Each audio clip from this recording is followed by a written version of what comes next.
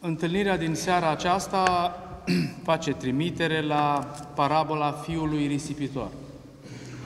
Este o parabolă pe care noi o ascultăm în biserică în uh, pregătirea intrării în postul Paștelui, în cele trei duminici de la începutul triodului. Și predica de la parabola fiului risipitor ne-a provocat atât de tare încât i-am propus Părintelui Sorin să o reluăm în formatul de astăzi. Parabola fiului risipitor, așa cum știți, este una dintre cele mai cuprinzătoare și tulburătoare pagini din Scriptură pe care, pe care Dumnezeu ne-a lăsat-o și este tulburătoare pentru că ne regăsim în personajele parabolei mai devreme sau mai târziu, mai mult sau mai puțin. Cu siguranță ne regăsim în uh, pielea fiului risipitor sau în pielea fratelui fiului risipitor. De multe ori. Vorbeam cu părintele, cred că uneori trebuie să învățăm să ne găsim și în pielea tatălui care iartă. E un pic mai greu, acolo standardul este foarte, foarte ridicat, dar spre asta trebuie să tindem, trebuie să învățăm și să iertăm, căci altfel uh, ne este greu. Așadar, uh, parabola fiului risipitor uh, înseamnă învățătură foarte multă pentru noi, pentru viața noastră, și aș dori ca Părintele Diacon să intre în, în subiect. Așa cum știm, prima parte, aproximativ o oră, este prelegerea și apoi, în partea a doua, întrebări pe care puteți să le dați și în scris sau să le dați la microfon. Nu știu cum se aude. Doamne ajută. Pentru început, ar merita să recitim uh, parabola fiului risipitor, Evanghelia Sfântului Evanghelist Luca, capitolul 15, uh, care sunt, uh, de fapt, versetele la care vom și face referire pe parcurs. A zis Hristos, un om avea doi fii și a zis cel mai tânăr dintre ei, tatălui său, Tată, dăm partea ce mi se cuvine din avere și el le-a împărțit averea. Și nu după multe zile, adunând toate, fiul cel mai tânăr s-a dus într-o țară depărtată și acolo și-a risipit averea trăind în desfrânări. Și după ce a cheltuit totul, s-a făcut foamete mare în țara aceea și el a început să ducă lipsă. Și ducându-se s-a alipit el de unul din locuitorii acelei țări și acesta l-a trimis la țarinile sale să păzească porcii și dorea să-și sature pântecele din roșcovele pe care le mâncau porcii, însă nimeni nu-i dădea. După aceea, textul continuă. Dar venindu-și în sine, a zis către argați, ai, câți argați ai tatălui meu sunt îndestulați de pâine, iar eu pierd aici de foame. Sculându-mă, mă voi duce la tatăl meu și voi spune, tata, am greșit la cer și înaintea ta nu mai sunt vrednic să mă numesc fiul tău, fă ca pe unul din argații tăi. Și sculându-se a venit la tatăl său și încă departe fiind el, l-a văzut tatăl său și i s-a făcut milă și alergând a căzut pe grumazul lui și l-a sărutat. Și a zis fiul, Tată, am greșit la cer și înaintea ta și nu mai sunt vrednic să mă numesc fiul tău. Și a zis tatăl către slugile sale, aduceți de grabă haina lui cea din tâi și îl îmbrăcați și dați inel în mâna lui și încălțăminte în picioarele lui și aduceți vicelul cel îngrășat și îl junghiați și mâncând să ne veselim, căci acest fiu al meu mort era și a înviat, pierdut era și s-a aflat și au început să se veselească. Iar fiul cel mare era la țarină și când a venit și s-a apropiat de casă, a auzit cântece și jocuri și chemând la sine pe una dintre slugi, a întrebat ce înseamnă acestea. Iar ea i-a răspuns, fratele tău a venit și tatăl tău a junghiat vițelul cel gras pentru că l-a primit sănătos. Și el s-a mâniat și nu vrea să intre, dar tatăl lui ieșind îl ruga, Însă el răspunzând a zis tatălui său, iată, atâția ani, de atâția ani îți slujesc și niciodată n-am călcat porunca ta și mie niciodată nu mi-ai dat un ied ca să mă veselesc cu prietenii mei. Dar când a venit acest fiu al tău, care ți-a mâncat averea cu desfrânatele, ai junghiat pentru el vițelul cel îngrășat.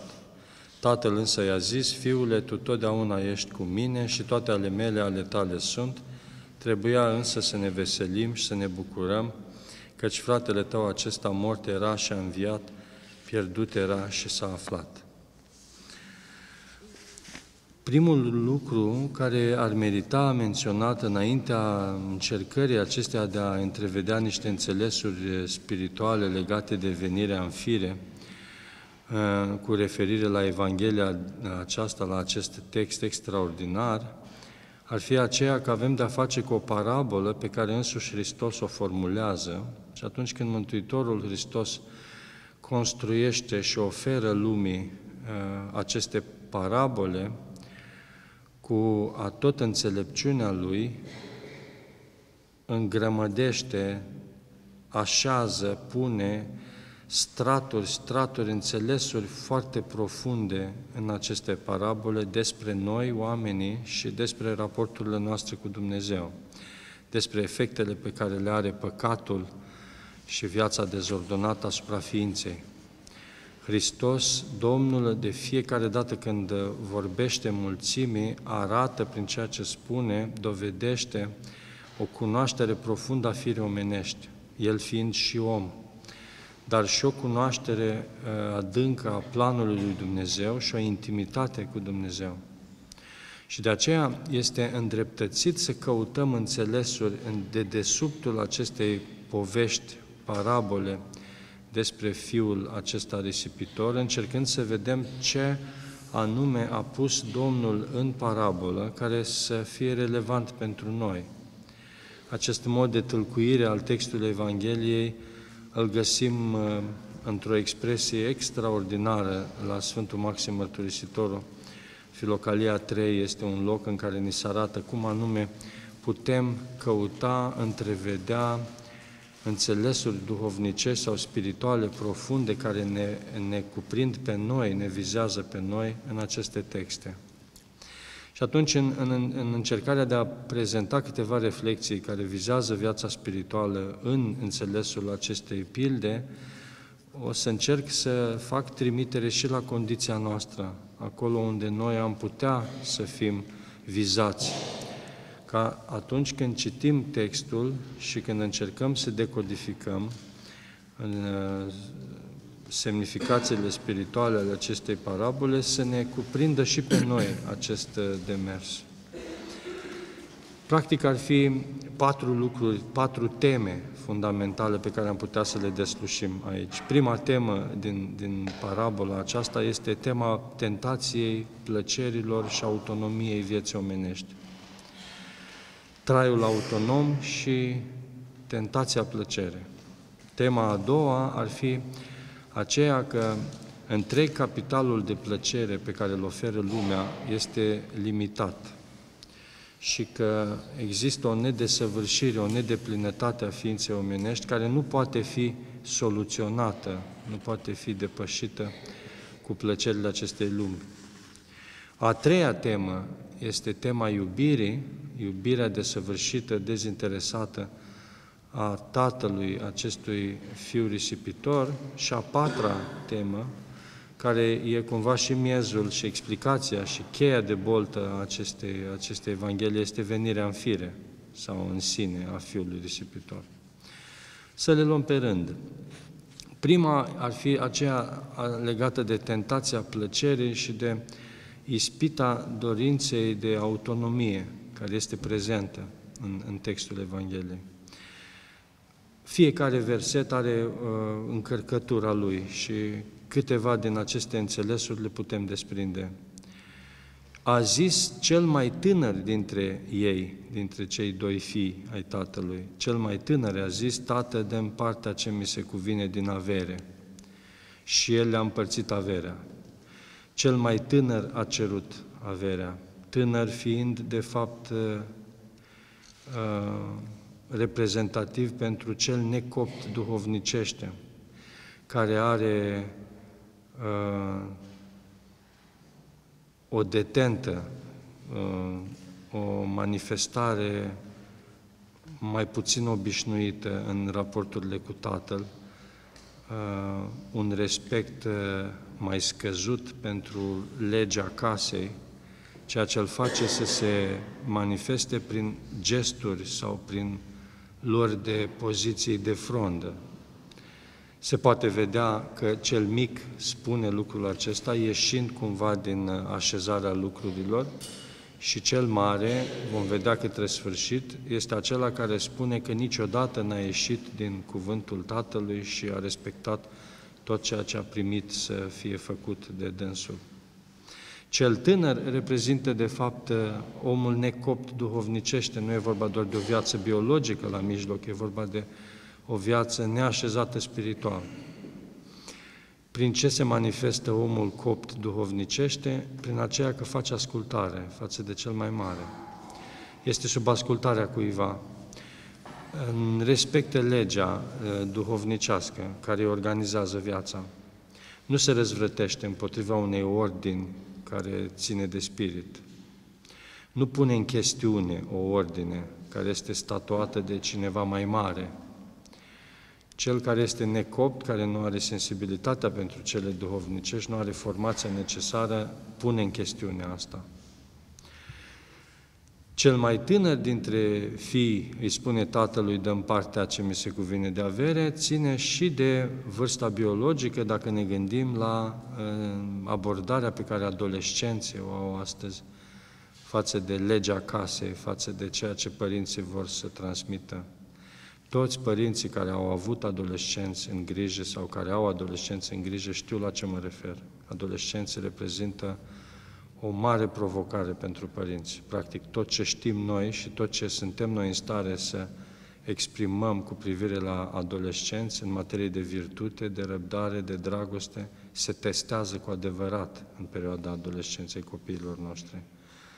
Pentru că adolescenții au un mod de a fi, un fel de a vorbi, o emoționalitate și o impulsivitate care sunt specifice acestei vârste. Și studiile de medicină, de, de psihologia dezvoltării ne spun că cu adevărat adolescenții funcționează așa. Și în multe privințe ei nici nu pot să-și coordoneze ființa altfel.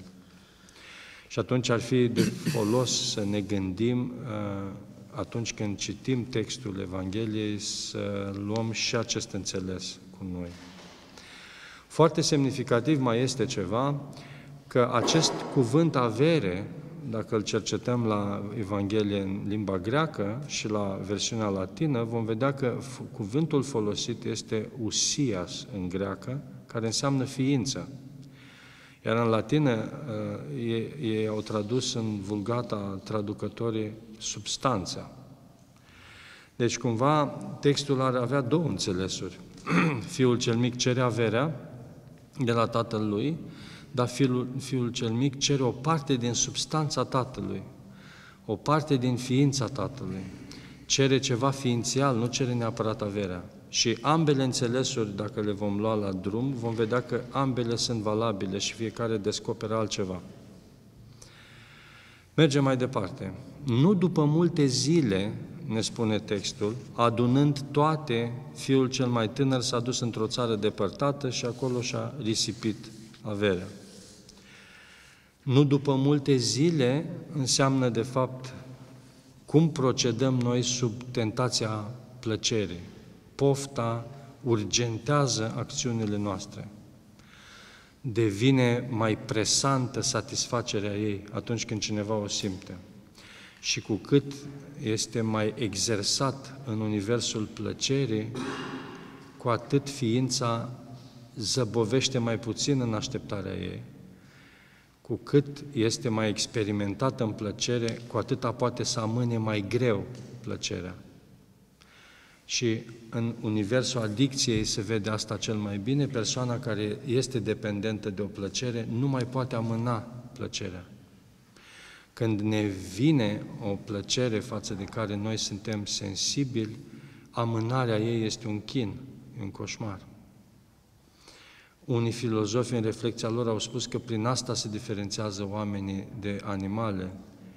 Oamenii pot amâna plăcerea, numai că vedem că atunci când o persoană este vulnerabilizată de experiențele de plăcere sistematic introduse în viață, ea ajunge să depindă de plăcere și liniștea ei este foarte tulburată dacă ea are nevoia unei plăceri și este nevoită să o amâne.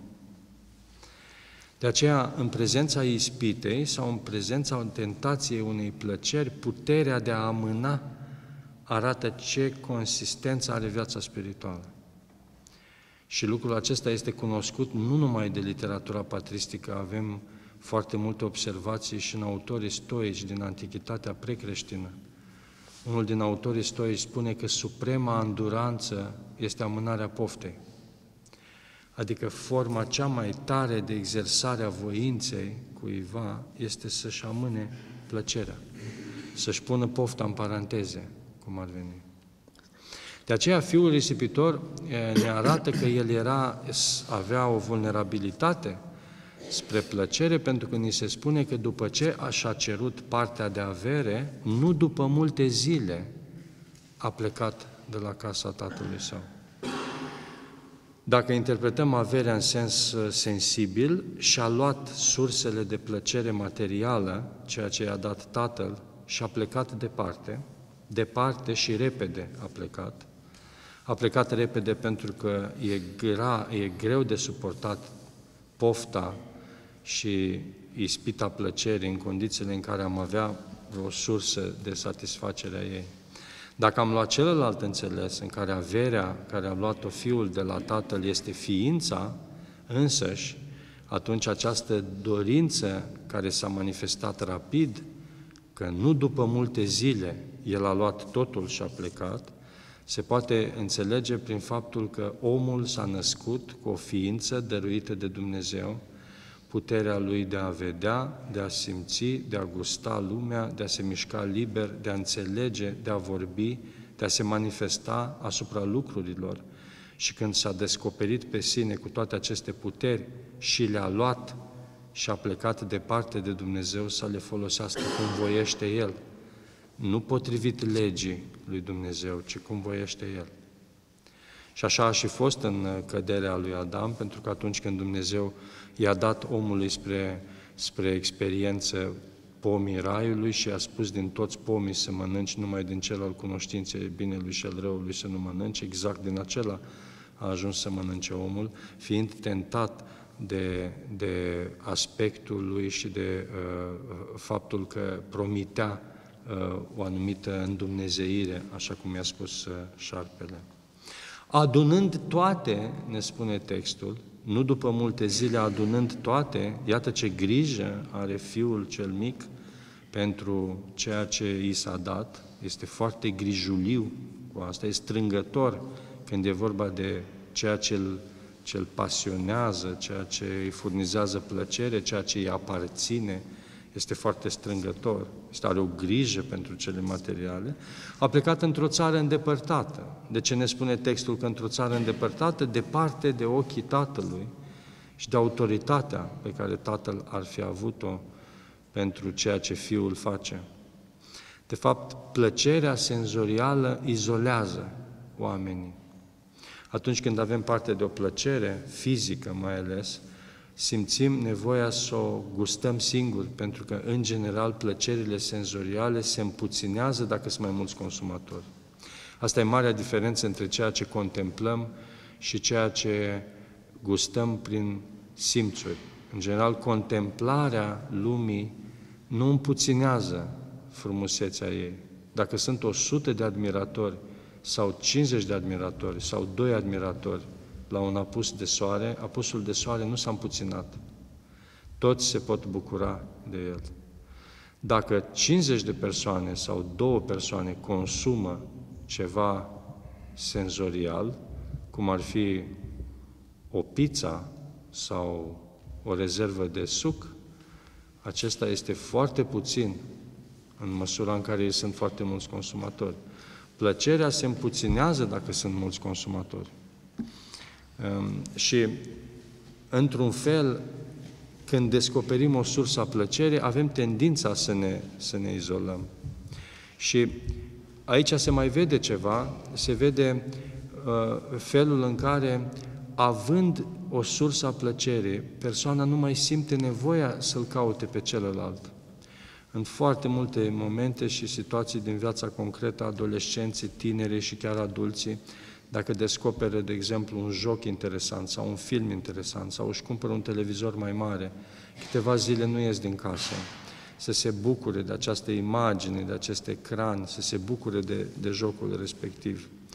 Um, însoțiți de telefon, de televizor, de o sursă de joc, stăm foarte multă vreme în singurătate, fără să ne dăm seama că ne, ne alienăm așa, ne, ne îmbolnăvim, de fapt. Și tehnologia și plăcerea este o însoțitoare periculoasă pentru om, pentru că au un fel de, de efect halucinogen. Ne induc o stare de bine, de o stare de euforie, dar noi nu ne dăm seama că simțurile noastre se alienează. Stând în singurătate și consumând plăcerea, omul se simte bine, dar nu-și face bine, omul își face rău. Dacă mergem să le întrebăm pe cineva care stă în miezul unui joc foarte apetisant, atractiv, sau consumă ceva foarte gustos din ceea ce îi place lui foarte mult, uh, ne va spune că se simte bine dacă uh, îl invităm cu chestionare să, să își evalueze starea de bine, ne va spune că starea de bine este foarte sus. El se simte foarte bine. Dar dacă el continuă să trăiască în acest univers al plăcerii, însoțit de un calculator sau de un fel de un sortiment de hrană care îi place foarte mult, el încet, încet se va îmbolnăvi. Medicina comportamentală ne spune că sănătatea stă în relația cu ceilalți, în desfășurarea vieții în spațiu natural, în experiența unei comunități care se roagă.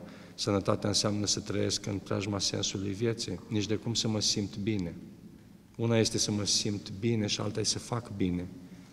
Nu la fel de bune sunt amândouă, deși starea de bine pe care el o furnizează e comparabilă. Deci faptul că se duce într-o țară îndepărtată ne ascunde acest mod al ființei noastre, care se izolează dacă găsește o sursă de plăcere pe care o poate consuma singură. Și după aceea textul ne spune și a risipit averea trăind în desfrânări. Că nu după multe zile, adunând toate, fiul cel mai tânăr s-a dus într-o țară îndepărtată și acolo și-a risipit averea trăind în desfrânări. E, e și acest lucru semnificativ. Răsfățul este irațional. Când o persoană are parte de răsfăț, ea începe să se manifeste irațional. Există ceva în ființa noastră care are nevoie de regulă, de măsură, de lege.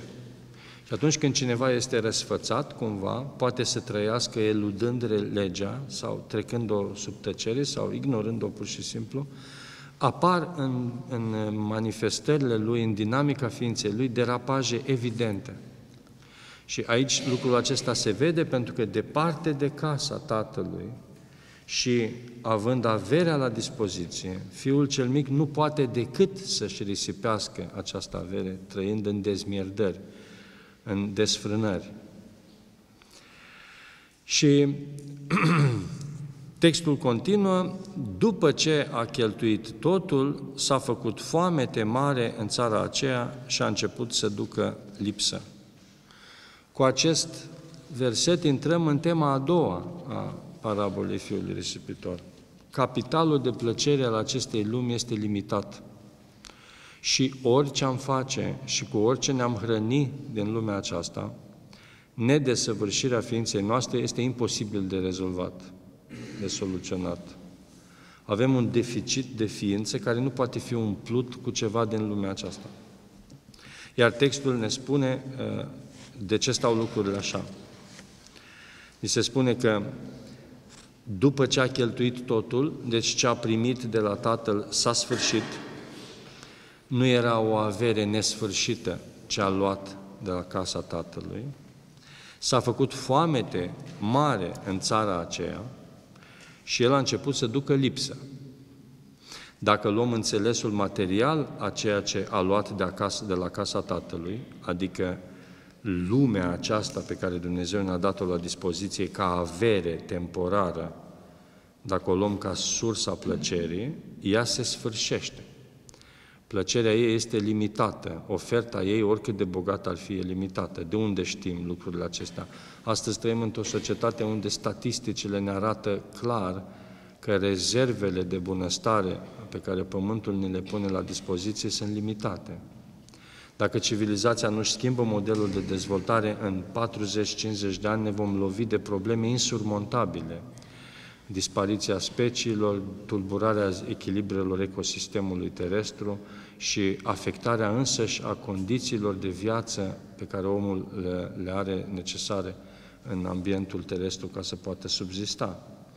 Asta ne arată că Pământul are limite și nu poate să susțină orice proiect de dezvoltare umană, nu poate să susțină orice intenție de plăcere și de consum pe care civilizația i-o solicită. Pământul e limitat. Și de aceea, după o, ce a cheltuit, totul s-a făcut foamete mare în țara aceea și el a început să ducă lipsă. Există o rezervă limitată pe care noi o cheltuim în lumea aceasta. Și dacă avem senzația că pământul ne este dat ca avere pe care am luat-o de la Dumnezeu ca să ne distrăm, vom ajunge să constatăm că am cheltuit totul și va veni foamete în țara aceea și noi vom duce lipsă. Dacă luăm înțelesul celălalt, cum că ceea ce a luat de la Dumnezeu nu este averea, ci este ființa, adică puterea de înțelegere, puterea de a iubi, puterea de a se mișca în mod autonom, capacitatea de a uh, crea uh, lucruri, adică ceea ce avem în ființa noastră, dacă asta am luat de la Dumnezeu când am plecat, atunci vom constata încet, încet că și aceste lucruri sunt limitate. Adică înțelegerea mea obosește la un moment dat, privirea mea slăbește, capacitatea mea de a iubi e limitată, toate sunt lovite de nedesăvârșirea ființei mele, care nu poate să se alimenteze pe sine din ea însăși. Omul nu poate trăi de sine și să-și poată furniza plăcerea continuu și să se simtă împlinit în viața aceasta, în felul acesta.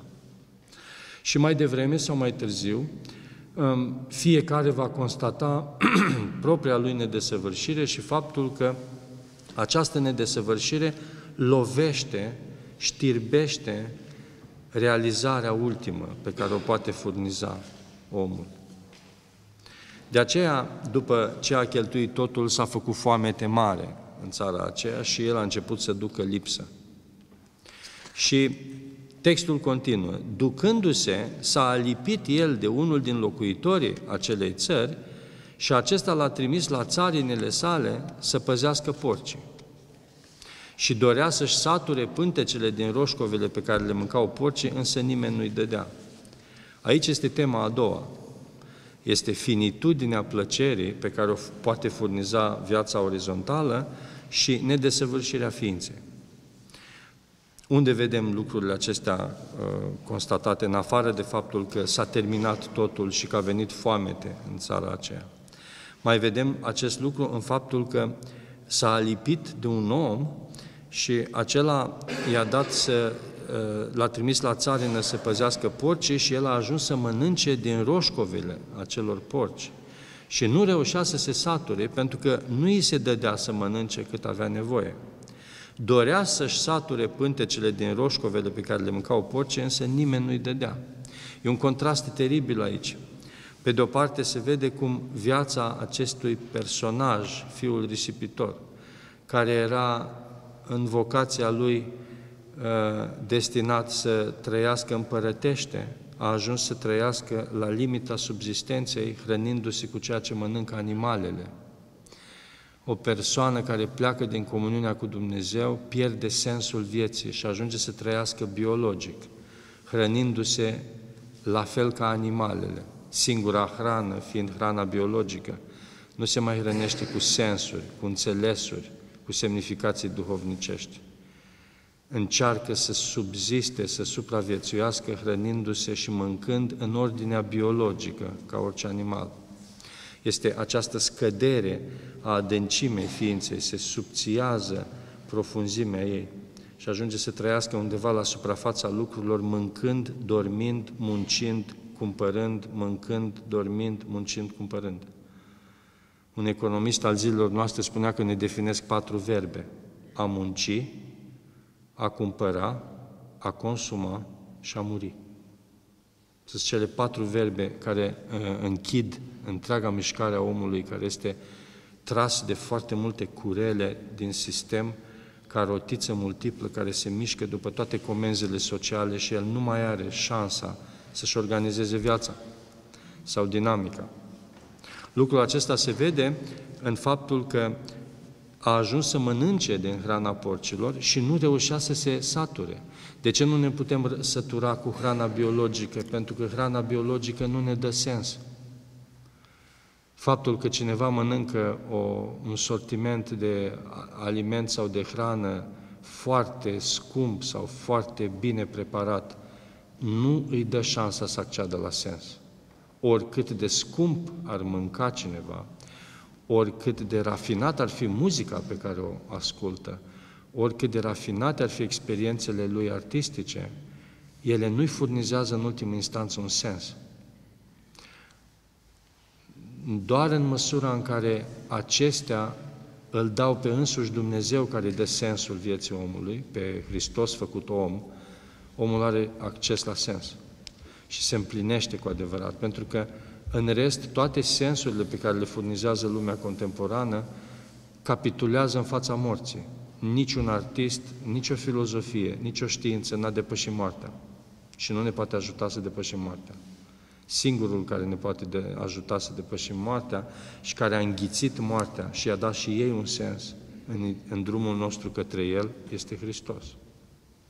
Și atunci, e firesc cumva ca în departe de Tatăl, acest tânăr, după ce și-a risipit toate, pentru că într-adevăr averile se risipesc și puterile omului se risipesc și ele au un capăt, ajunge la sfârșitul acestei risipe să constate că mai mai că moare și își va veni în fire, dar contrastul este extraordinar pentru că dorea să-și sature pântecele din roșcove și nu, nu-i nimeni nu-i dădea.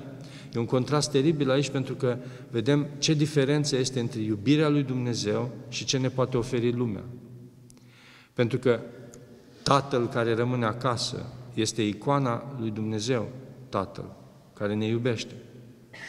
Și acest străin care încearcă să-l pună la țarină, să lucreze pentru dânsul păscând porcii, e lumea. Asta e icoana lumii. E ce ne oferă lumea, de fapt. Lumea ne oferă niște roșcove, dar trebuie să muncim pentru ele. Și nu avem din destul, chiar dacă muncim. Iar ceea ce primim de la Dumnezeu e gratuit. Harul lui Dumnezeu în biserică se dă gratuit, nu e contra cost. Oamenii trebuie să se cerceteze pe ei, să se mustre pe ei, să se spovedească și au acces liber la lucrarea lui Dumnezeu în viața lor prin Sfintele Taine. Cuvântul lui Dumnezeu este gratuit, el este tipărit în Scriptură, Sfinții au cărți care se pot cumpăra, sfaturile duhovnicești sunt acolo unde oamenii le caută. Această gratuitate oferită de Dumnezeu contrastează foarte mult cu puținele lucruri pe care ni le dă lumea și care toate sunt contra cost. Toate sunt contra cost. Și niciuna dintre ele nu ne satisface și dorea să-și sature pântecele din roșcovele pe care le mâncau porcii, însă nimeni nu-i dădea să se sature.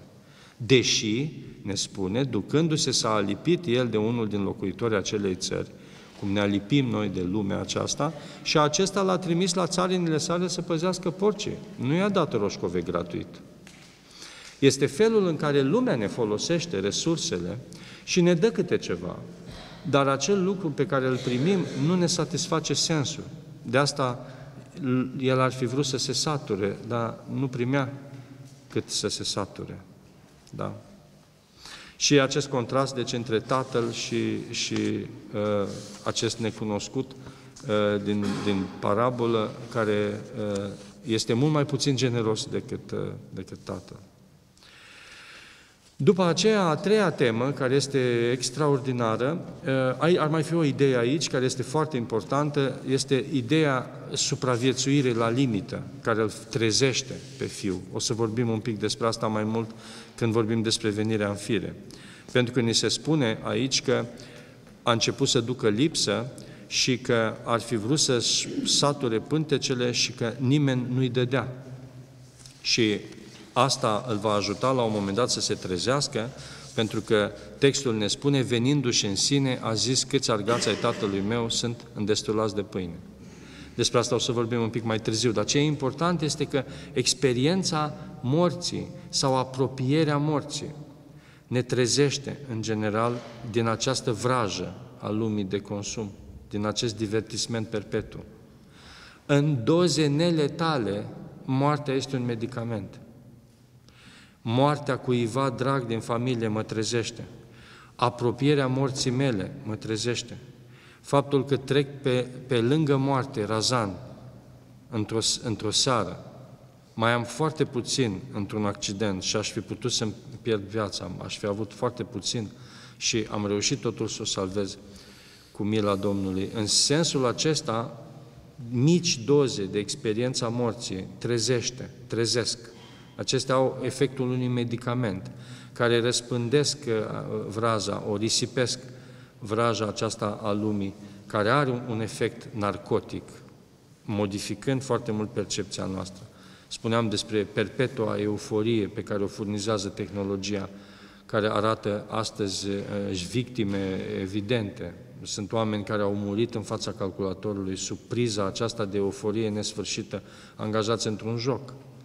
Ei nu și-au dat seama că este vital să se deconecteze, pentru că starea de bine a continuat până în ultima clipă a vieții. Există situații însă în care, în care moartea unui prieten, moartea cuiva drag sau chiar apropierea morții mele să mă trezească totuși. Și de asta spun că în, în doze neletale moartea ar putea să fie un medicament foarte eficient care să ne trezească. Uh, mergem mai departe, pentru că a treia temă extraordinară este tema iubirii și tema iubirii este prezentă iarăși în, în textul, uh, în parabola respectivă, pe un alt plan. Tema iubirii este legată de tatăl care îl lasă pe fiul cel tânăr să plece de acasă după ce tot el îi dă averea care este cerută. Ni se spune deci că fiul cel tânăr a cerut averea de la tatăl său și tatăl său i-a dat-o fără să discute cu el, fără să-și ia vreo măsură de precauțiune, fără să-și ia uh, să, să, pună un, un, să aibă o înțelegere cu fiul, să-l constrângă, dacă tot primește această avere, să-l constrângă cu privire la felul în care o va folosi. Nu există nicăieri în text vreun loc în care să ni se spună că tatăl ar fi pus vreo condiție ca fiul să ia averea care îi se cuvine. Și aici este una din lecțiile mari, sunt cel puțin patru lecții mari de iubire pe care le primim din atitudinea și din felul în care tatăl din parabola fiului risipitor acționează asupra fiului risipitor în condițiile în care el pleacă de acasă. Iubirea autentică este generoasă și nu constrânge. Iubirea autentică respectă libertatea celuilalt. Și aici, pentru noi, lucrurile sunt foarte importante câtă capacitate avem noi de a respecta libertatea celor pe care noi iubim. Foarte greu sunt petrec lucrurile în privința noastră, foarte complicat, foarte noduroasă este uh, situația și relația dintre părinți și copii, cât este de greu să iubim dezinteresat. Nu se pune problema de a iubi dezinteresat și fără constrângere copiii care au o vârstă fragedă, ei au nevoie de o autoritate, noi putem lăsa să decidă ei. Problema este să începem să învățăm, să respectăm libertatea celor care devin adolescenți și după aceea tineri adulți. Până la ce vârstă părinții intervin cu sfaturi pe care tinerii nu le cer? Până la ce vârstă părinții încearcă să organizeze viața copiilor lor, chiar dacă copiii lor au 20, 25, 30 de ani? Știu situații în care părinții nici la 50 de ani nu și-au lăsat copiii părinții având 70 și copiii având 50, nici atunci nu îi lasă să-și organizeze căminul sau să-și organizeze viața lor economică sau financiară. Aici este o mare provocare în modelul de iubire. Cum iubim noi și ce caracteristici are dragostea noastră, cât de spirituală este ea, cât de autentică este ea. Pentru că tatăl din, din, din parabola fiului risipitor dă o lecție incredibilă de iubire. Fiul cel mic vine să ia partea de avere, tatăl i-o dă, în parte cu cel mare, și după aceea, după, nu după puține, nu după multe zile, fiul cel mic își ia averea și pleacă de acasă. Parabola și Mântuitorul care pune fiecare cuvânt la locul lui nu ne spune nimic despre Tatăl.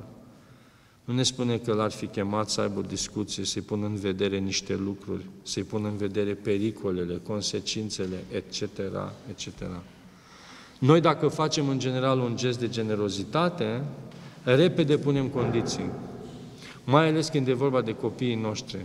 Cercetați-vă și veți vedea că așa stau lucrurile. În cele mai multe situații, noi dacă facem un gest de generozitate, vrem din partea celuilalt, dacă nu recunoștințe, măcar să respecte câteva reguli. Uh, și ne dăm exemplu repede pe noi înșine dacă am făcut un gest de astfel de, de generozitate. Ehm, fiul cel mare pleacă într-o țară îndepărtată, tatăl nu pune nicio condiție, nu-i spune poți să pleci fără avere sau uite dacă pleci îți dau numai jumătate din ce ți-am dat inițial sau de ce pleci după ce ți-am dat, ehm, nu mai bine rămâi acasă pentru că eu am făcut acest gest și fă și tu gestul de a rămâne aici. De fapt, fiul pleacă de acasă luându-și repede partea de avere pentru că el nu-l iubea pe tatăl. După felul în care procedează, se vede că el stătea acasă lângă tatăl, pentru că trebuia să-și ia partea de avere. De unde știm asta? Păi cum i-a dat averea, a și plecat. Înseamnă că el stătea acolo pentru ceea ce trebuia să primească. Tatăl știe asta. Dumnezeu, Dumnezeu știe când noi nu-L iubim. Nu trebuie să-i spunem neapărat în mod explicit asta, El deja știe asta cum tatăl din Evanghelia aceasta știe că fiul nu-l iubește și de aceea nici nu-l constrânge să nu plece cumva departe, cum să-l țină cu forța lângă el.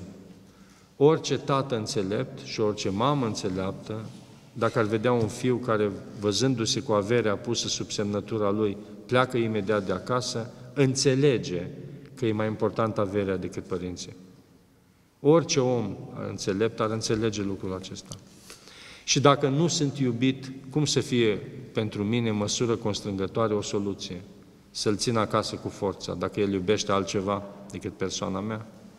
O persoană care iubește nu poate constrânge.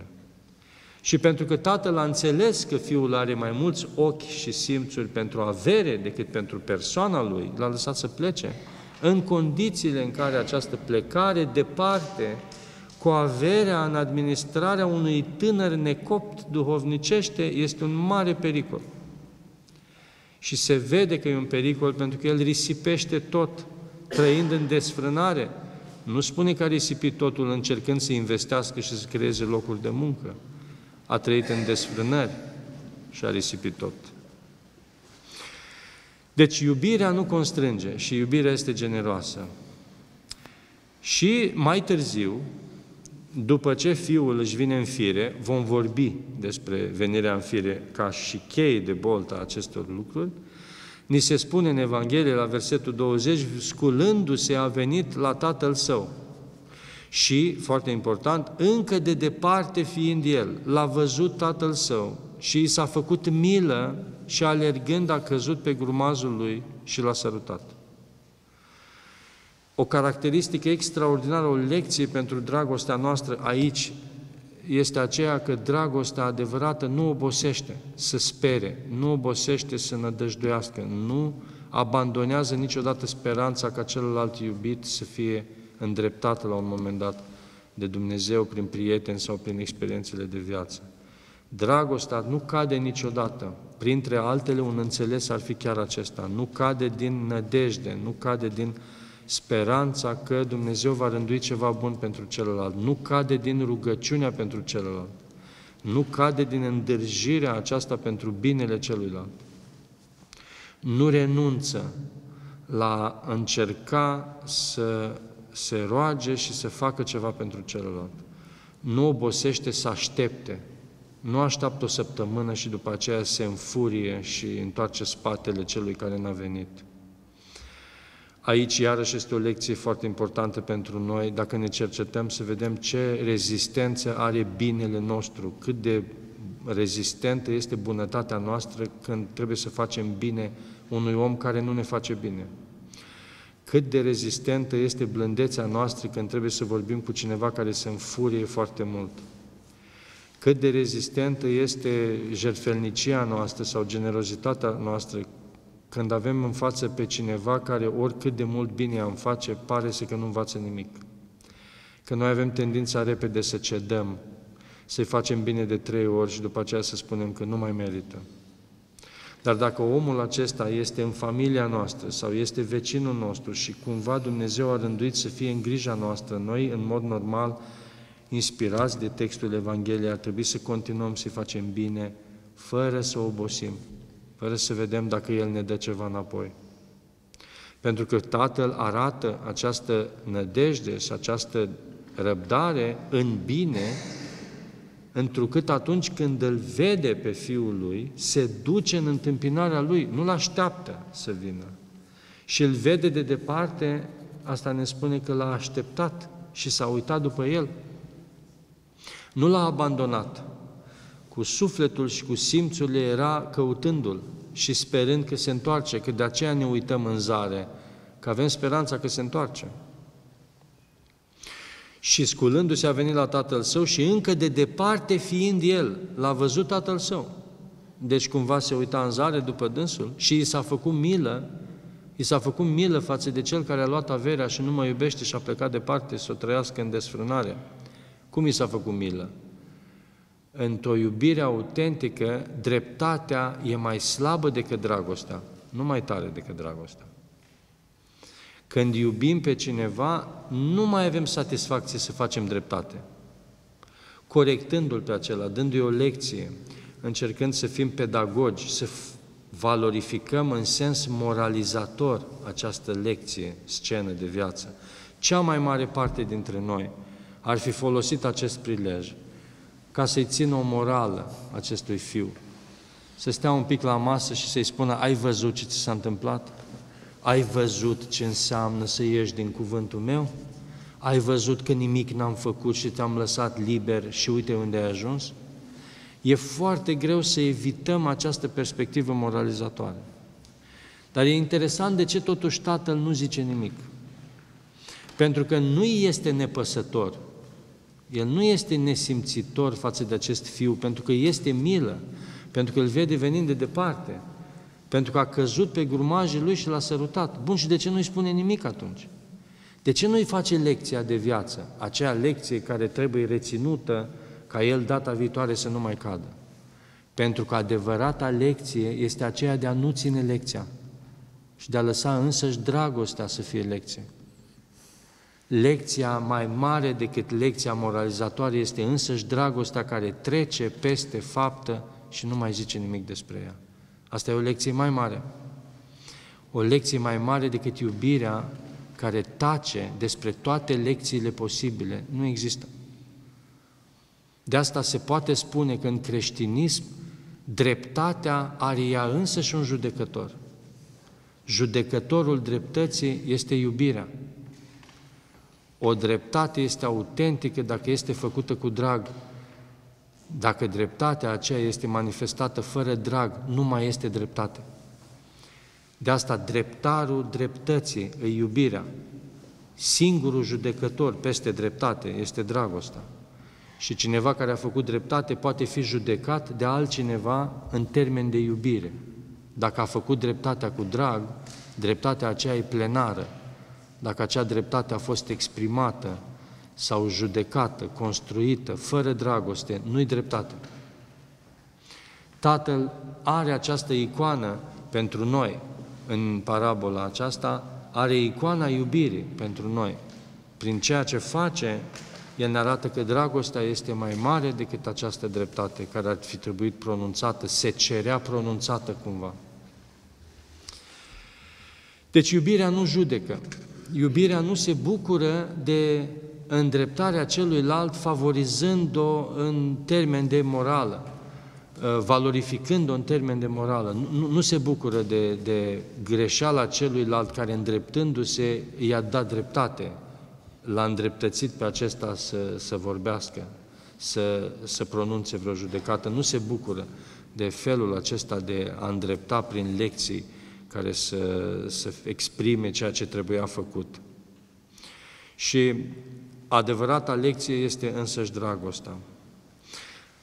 După aceea, o altă chestiune care e foarte importantă și cu asta încheiem al, a, a treia temă, este modul în care Tatăl merge mai departe, mai departe decât a nu vorbi despre răul Fiului și al i primi și a-i da cinstea extraordinară înapoi. Există ceva ce Tatăl face chiar dincolo de asta. Ce ne spune Tatăl mai departe? Aduceți vițelul cel îngreșat și îl junghiați și mâncând să ne veselim. Înainte spune uh, către slugile sale, aduceți de grabă haina lui cea din tâi și îmbrăcați-l și dați în el în mâna lui și încălțăminte în picioarele lui restaurează demnitatea pierdută a fiului. Fiul și-a pierdut demnitatea atunci când mânca din roșcovele porcilor și era flămând și trăia ca un, o slugă la un străin și aici acasă vine și primește toate de grabă.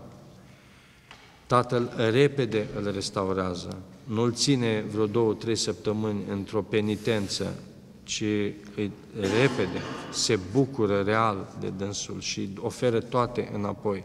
Nu îi oferă haina cea din tâi spunând, vezi că să nu cumva să o vinzi și pe asta. Sau nu-i dă sandalele și inelul spunând, dar oare și pe asta ei să le iei? Nu cumva mâine vrei să pleci iarăși? Nu vorbește despre asta, îl restaurează pur și simplu. Și după aceea îi spune, aduceți vițelul cel îngreșat și îl junghiați și mâncând să ne veselim. Să ne bucurăm că s-a întors acasă, să celebrăm că s-a întors acasă. De unde tentația de moralizatoare sau de pedagogie, de îndreptare cu forța acestui fiu? Nici gând de așa ceva. E vorba de celebrare, de vițelul cel gras, de mâncare și de veselie. Da? căci acest fiu al meu mort era și a înviat, pierdut era și s-a aflat și au început să se veselească. Și ultimul loc în care vedem uh, foarte uh, expresivă dragostea lui Dumnezeu pentru Fiul, uh, uh, dragostea, dragostea Tatălui pentru Fiul risipitor și implicit al lui Dumnezeu pentru noi oamenii, este în locul în care Tatăl este avocat pentru Fiul risipitor, în fața Fiului cel mare, care stătea acasă. Pentru că atunci când Fiul cel Mare nu vrea să intre la celebrarea aceasta pe care Tatăl a organizat-o pentru venirea Fiului risipitor, Tatăl îi ia apărarea celui care a greșit. Tatăl însă i-a zis, Fiule, tu întotdeauna ești cu mine și toate ale mele sunt ale tale, trebuia însă să ne veselim și să ne bucurăm că și fratele tău acesta mort era și a înviat, pierdut era și s-a aflat. Când iubim pe cineva, suntem avocații lui, acoperim relele pe care acela le-a făcut și încercăm să acoperim aceste rele și în fața altora. Luăm apărarea acestor oameni pe care îi iubim. Mă gândesc de câte ori părinții nu se duc la școală și ajung să se plângă în fața profesoarelor de propriilor copii. Profesoara sau învățătoarea sau educatoarea sau diriginta să le spună că copiilor sunt obraznici, copiilor sunt cum sunt și așa și se comportă greșit și părinții încep să spună și ei așa este, e foarte rău, e foarte obraznic, nu știu ce să mă mai fac cu el, etc., etc. Când de fapt noi ar trebui să-i apărăm pe copiii noștri și să le spunem că au multe minusuri și din cauza noastră, că noi suntem vinovați, că n-am reușit să-i dăm lucruri, ca să luăm asupra noastră lucrurile, nu să punem totul în cârca copilului, ca și cum el e singurul responsabil pentru comportamentele lui.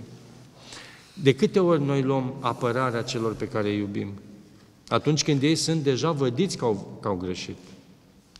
Nu să luăm apărarea unor oameni drepți, nu să luăm apărarea unor oameni care sunt deja în greșeală.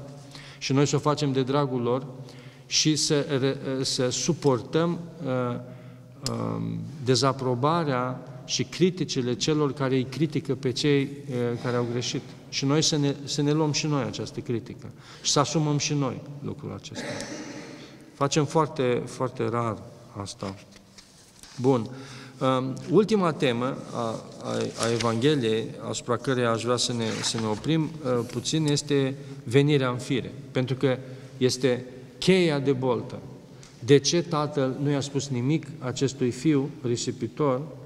De ce s-a dus la el și l-a îmbrățișat și l-a sărutat?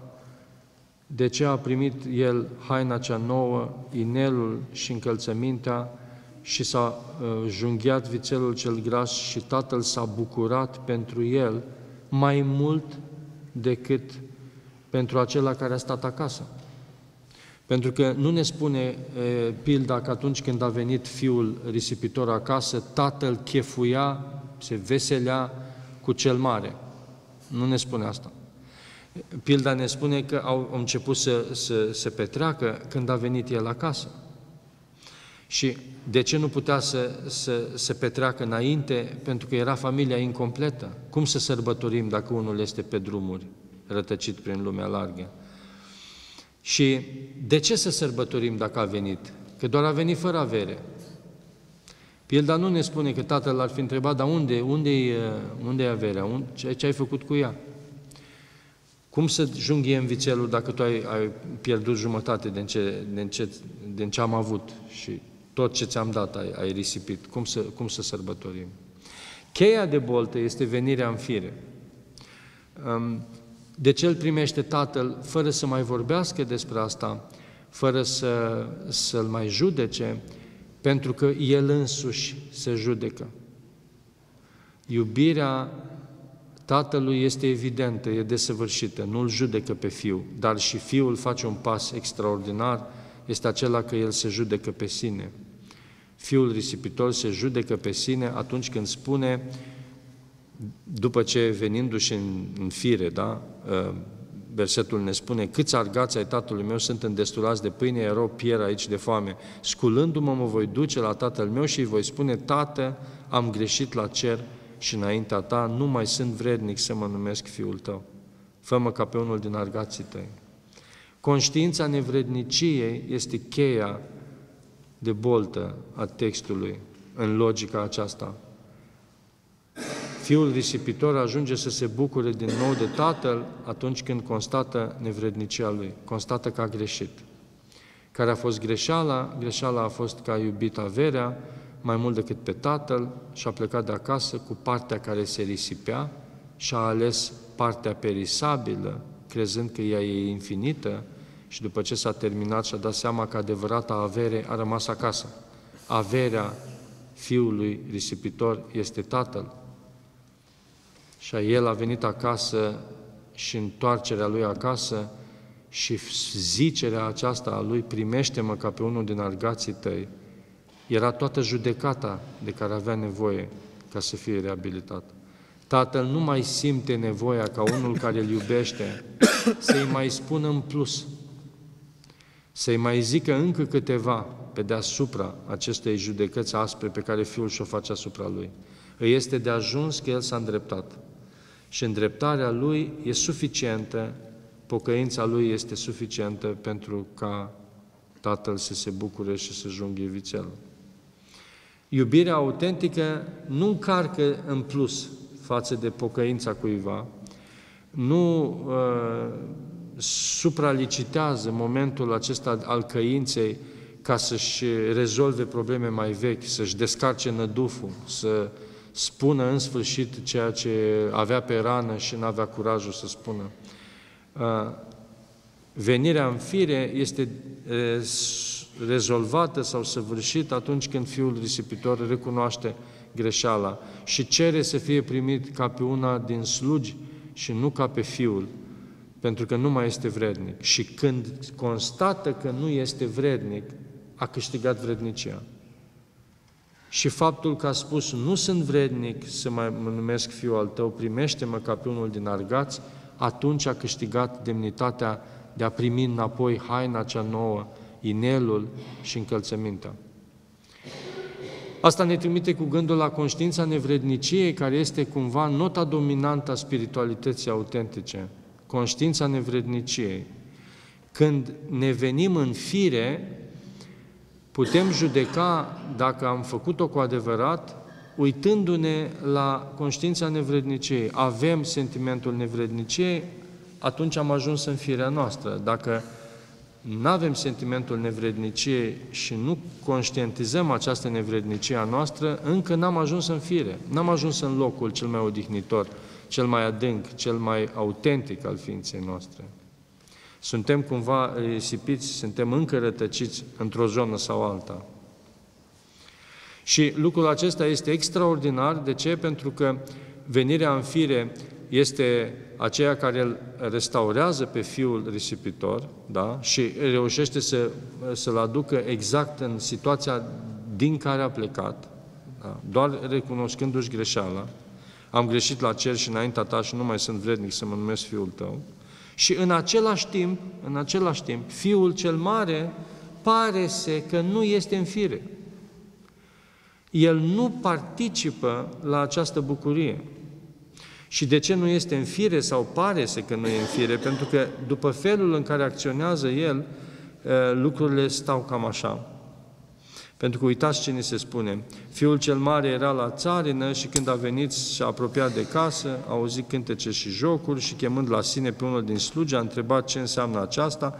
Aceea a răspuns, fratele tău a venit, tatăl tău a junghiat vițelul și el a, s-a mâniat și nu voia să intre dar tatălui ieșind îl ruga, însă el răspunzând a zis tatălui său, iată, atâția ani, de atâția ani îți slujesc și niciodată n-am călcat porunca ta și mie niciodată nu mi-ai dat un ied ca să mă veselesc cu prietenii mei.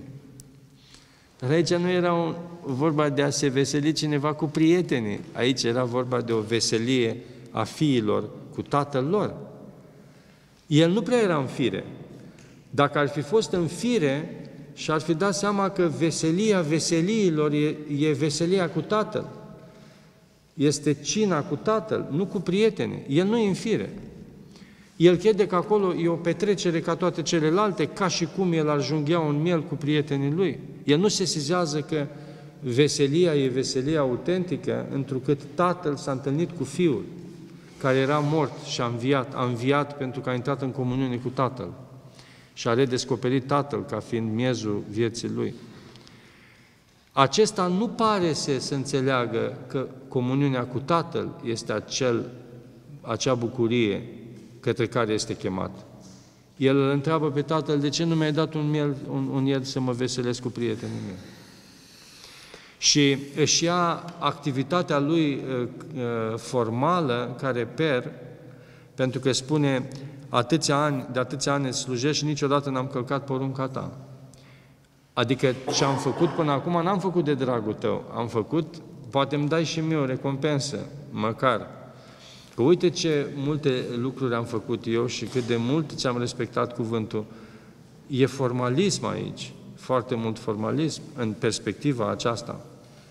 Nu am făcut-o de dragul tău, n-am cultivat virtuțile de dragul tău și uh, de a, de, de, de, din dorința de a rămâne în comuniune. Am făcut lucrurile acestea cumva ca efort și acum m-am gândit că poate ar fi bine să-mi dai și o răsplată pentru lucrul acesta. Și unul, un, sunt interpretări care ne spun că această cină la care este chemat Fiul Risipitor este cina cea de taină, este Sfânta Euharistie, vițelul cel gras este Hristos care se jertfește și prin împărtășirea din el, umanitatea intră în comuniune cu Dumnezeu, iar Fiul cel Mare pare să că nu participă la această comuniune, ținând foarte mult de faptele legii vechi și de respectarea lor formală. Lucru care este, uh, iarăși, cu trimitere la modul în care noi ne raportăm la uh, comuniunea cu Dumnezeu. Practic, certificatul de autenticitate al vieții spirituale dat de Fiul Risipitor ține de conștiința nevredniciei. Cât de nevrednic sunt, dă măsura spiritualității mele. Și venirea aceasta în fire este foarte bine surprinsă de, de Sfinții Părinți, Pentru final am două citate care sunt uh, precise. Unul este despre uh, venirea în fire și celălalt este despre uh, uh, conștiința nevredniciei. Am găsit aceste texte la Isaac Siru și la Sfântul Maxim Mărturisitorul și sunt foarte reprezentative pentru, pentru uh, aspectele luate în discuție. Revenirea în sine e ceva ce trebuie să facă fiecare creștin. Dar e foarte important, mai ales astăzi, că există foarte multe spiritualități, foarte multe tehnici de sine, uh, foarte multe practici de sine. De la Antichitatea greacă, școlile stoice sunt cărți reluate cu elemente de psihoterapie cognitiv-comportamentală care împrumută din tehnicile de sine din extremul Orient sau din spiritualitatea greacă, Există foarte multe tehnici de sine care uh, sunt pur științifice și care apelează foarte mult la respirație, la gimnastica minții. Peste tot se pare că există un fel de, de proiect de întoarcere în sine a omului. Asta e bine din punct de vedere al creștinismului ortodox. Noi ne bucurăm, cred că ar trebui să ne bucurăm de fiecare dată când varii spiritualități semnalizează că omul postmodern e departe de sine. Asta cred că e o constatare bună, care poate să însemne un semnal de alarmă tras de mai multă lume. Într-adevăr, consumerismul ne îndepărtează de sine. Lumea plăcerilor și a divertismentului, ca acest univers în care fiul risipitor a plecat departe de casă, ne duce departe de noi înșine. Ne risipim când plecăm după plăcerile noastre. Pierdem ceva din identitatea noastră. Dar nu orice revenire în sine este autentică. Și aici textul din Isaac Siru ne ajută foarte mult. Așa ne spune textul. Cel smerit nu se simte niciodată grăbit, tulburat, întețit. În el nu sunt gânduri înfierbântate și ușuratice. În toată vremea se află într-o odihnă lipsită din cordare. Mari sunt acești părinți care au descris spațiul interiorității noastre, dându-ne un fel de de reper despre cum ar arăta viața interioară în albia uh, spiritualității creștine. De s-ar ciocni cerul cu pământul, el nu s-ar speria. Vorba de acela care este smerit și liniștit. Și de ce nu se sperie? Pentru că toate le rânduiește Dumnezeu. Dar nu tot cel liniștit este și smerit la cugetare. Foarte important asta.